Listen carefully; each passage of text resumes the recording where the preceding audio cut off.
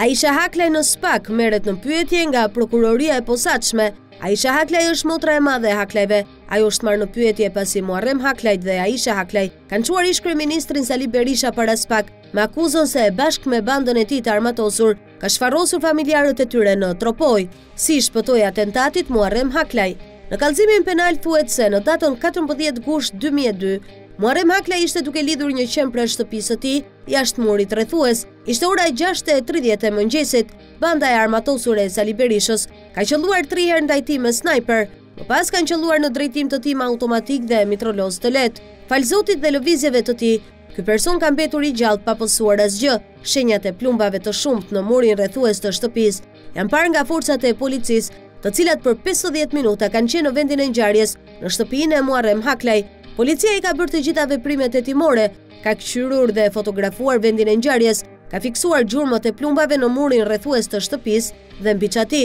Në vendin ku ishte ngritur prita për të vrarë Muharrem Haklajn, kanë shkuar forcat e policisë, por edhe vajza e Hamdi Haklajt, e quajtur Drenica Haklaj, e cila në vendngjarje ka parë sende ushqimore, një thikë buke, si dhe një letër të grisur në copa copa, në një pjesë të së cilës ishte emri dhe mbiemri Përparim Hyka dhe nënshkrimi poshtë emrit dhe mbiemrit, kush ishin pjesëtarë të tentativës së vrasjes. Në vendin ku ishte ngritur prita ka patur edhe shenja gjaku, pasi ka mbetur i plagosur djali i Sejt Hasan Hoxhës, i cili atë ditë ka shkuar në repartin e kirurgjisë në spitalin e Bajram Currit dhe ka kërkuar ndihmë mjekësore. Në datën 14 gusht 2002, janë ngujuar në shtëpinë e Sejt Hasan Hoxhës të tre djemtë e tij, Tahir Sejt Hoxha, Agim Sejt Hoxha dhe Selim Sejt Hoxha, çfarë tregon se ata kanë qenë pjesëtarë të tentativës së vrasjes për hakmarrje primitive të Sali Berishës kundër kryetarit të familjes Haklaj, Muharrem Haklaj. Në pritën për vrasjen e Muharrem Haklajt kanë qenë edhe kanë qëlluar mbi të me armë snajper dhe automatike,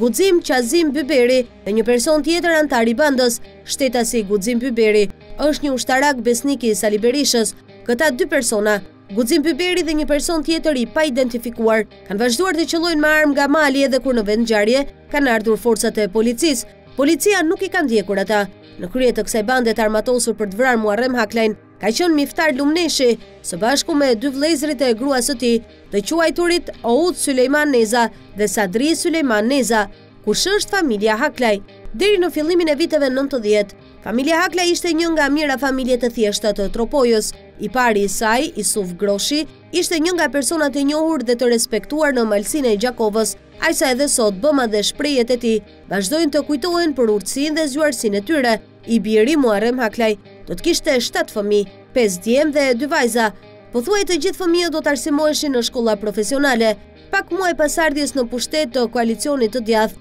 në verën e vitit 1992, Hamdi Haklaj dhe i vëllai i Halili do të arrestoheshin me akuzën e vrasjes me mjete të forta të një ekonomisti në Bajram Curr. Dy djemët më të mëdhenj të familjes do të qëndronin në burg për 6 muaj rresht, do të liroheshin për mungesë provash, por pas këtij momenti